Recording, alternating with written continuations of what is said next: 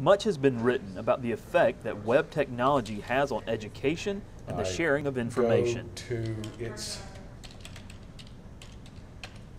address with this remote control protocol. When, it, when everything works, the internet is a marvelous thing. And it's really opened up a lot of avenues in science participation. Astronomy professor Dr. William Keel knows firsthand the important role the World Wide Web plays in knowledge sharing. His current research here at the University of Alabama is built around that sharing. Galaxy Zoo has become one of the most successful citizen science projects ever done. And it's something that was really only enabled by the widespread availability of the internet. Galaxy Zoo launched in 2007, and within weeks of its inception, Dr. Keel became one of several professional astronomers intricately involved in the project.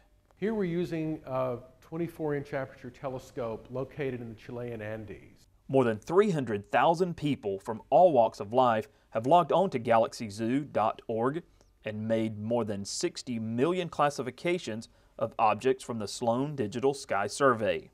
Classifications that Dr. Keel is taking full advantage of.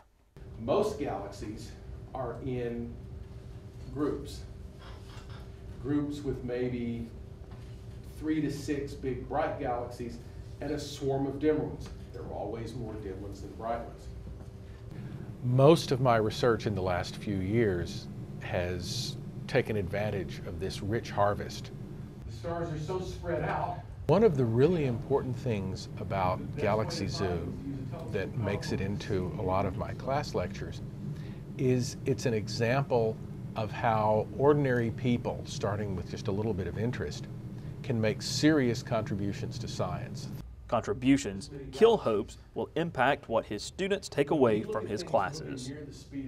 One of the things I've wondered for a long time has been whether our largest impact in the classroom is not in the graduate students that we train to be the future researchers, our replacements in a sense, but the hundreds of students every year who take maybe their first science course in astronomy and may for the first time start to see what a, a, vast and complicated and intricate place the universe is. You know, look skyward with a new sense of appreciation and carry that sense away with them.